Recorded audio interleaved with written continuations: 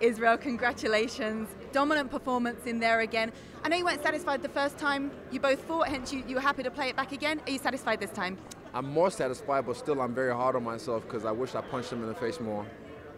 So in terms of how the fight played out, was there anything that surprised you? Marvin got a few of the takedowns, but you seemed to get up from them pretty quick. But but anything there that was different to the first time around? Nope, I wasn't threatened at all. Um, takedowns don't win fights unless you do something with them.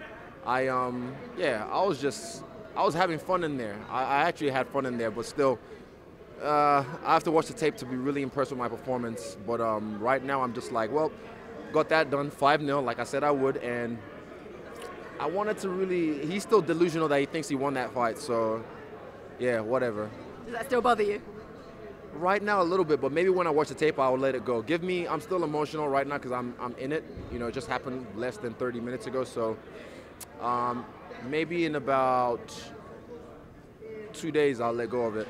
Okay. And you were piecing up his, his lower leg with those kicks. Was that strategy coming into the fight? Oh, definitely it was uh, from the southpaw stance. Um, and at one point, I think I swept him with it, which I was like, "Ooh, that's juicy." But he's tough. Was, he said to, he said in the interview that I'm stronger than I look, and I said, "Yeah, he's tougher.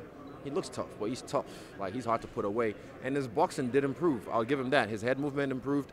Um, but I mean, I had fun in there. That's man. Wow, I still wanted to punch him in the face more. Damn it. Talking of juicy, what was that butt squeeze at the end of round four all about? I don't know. I was just right there. Was, I don't know. My hands get grabby sometimes. My bad. Idle hands. No jokes. I'm joking. I'm joking. Don't me too me. Ah. And look, in, in, your interview afterwards, you talked about um, Bobby Knuckles for the for the rematch. Obviously, you got the win the first time against Robert Whittaker. That was who you originally meant to fight this time around, anyway. Uh, Whittaker wanted a bit more time. How long do you think before you get back in there against Whittaker if that's the fight to make?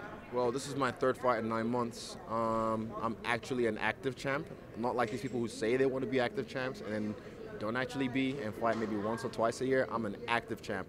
So I might fight two more times this year or one more time this year, but depends on this whole COVID bullshit. And yeah, we'll see.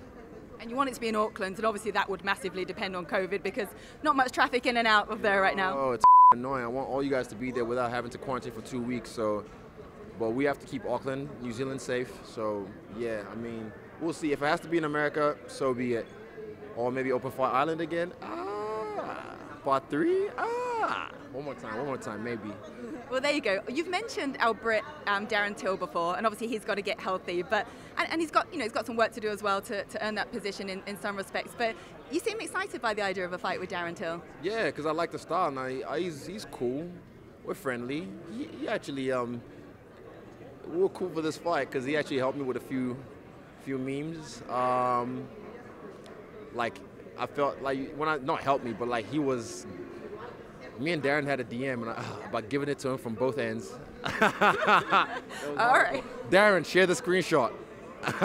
we, we want to see that. Okay, we're intrigued. But it's just been such an incredible night with the fans back. First time for yourself here with, with the fans in the arena. What did that feel like? There was so much support for you. And you came out with a mask, which I think needs a, a little explaining as well. We, we were trying to work it out. I mean, just like my boy Fall, who um, you know recently passed away. He was a Ronin. He was a guy that trained because he had to look after his daughter. So he, went, he worked as an electrician. So while he was doing that, he would be training as well on the low and then come back to the gym during sparring and still whoop our asses or be hard to break. So, excuse me. Um, yeah. Uh, also, just that feel of the samurai. I don't know. It was just, it was just in the air in this desert, in this Arizona desert. So yeah, came out in the in the, in the Ronin it was definitely impactful. And we've got Brandon Moreno to the side of us here, and you were congratulating him as the new champ, first Mexican-born champ. I mean, such a great atmosphere here with, with all you champions together backstage. Yeah, definitely. I mean, he's a guy that I feel people would look at him and be like, you know, this is what a champion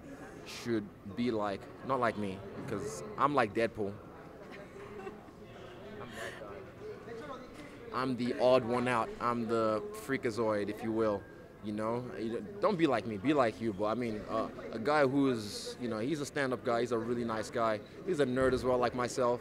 And I'm just happy for him. He deserves it, especially after the last fight, close. And I, I didn't see all of his fight, but I saw like the dominance he had in that fight. So congrats to him. I'm really happy for him. Absolutely. Well, you're all your own selves and, and, fantastic in your own rights. And also, we've got Francis Ngannou backstage and, and Kamaru Usman, the three of you, African born champions. Three and kings, three yeah, kings, three yes. kings. It's just, and you said that Kamaru Usman's last performance inspired you to come back out here and get excited for this fight. Yeah, and I, I was looking to shut this guy out like that, but um, I shut him off like that. But I sh- instead of shutting him off, I shut him out. So I'm I'm happy-ish with the performance, but ah, I still wanted to punch him in the face more. Did coming off the, did coming off the, yeah, save it, save it. did coming off the Yan fight, obviously upper division at light heavyweight, you said it reshuffled things for you a little bit. So it didn't take away in any sense, you know, that there was a loss prior to coming into this. You, Never, you still felt you're, well, you are coming in as the champion. It didn't dent you in any way. Nope, losses are part of life. Um, I don't fear them. I don't like, oh my no, my L was gone. Ha ha. What am I ever going to do? Ha. Nah, it's just you lost the fight. Cool. Get up, dust yourself off, get ready for the next one, and then go shit up, which I did tonight. So I don't really let losses define who I am. Fuck all that. Like, nah, it's part. I've lost in, in the gym. I've lost in life. You know, away from fighting. So it's just part of life. You just learn and grow from it. Don't shy away from losses. Embrace them. Take them as, as what they are, just a moment in time, and then you move on. Don't hold on to them. Don't be so hard on yourself. Good, good advice. You're victorious tonight, a winner, and still with your belt. How are you going to celebrate? After party somewhere in Arizona, and I'm probably gonna go to sleep because I'm tired too. Well, you deserve it. Congratulations. Thank, Thank you, miss. I appreciate that. Easy.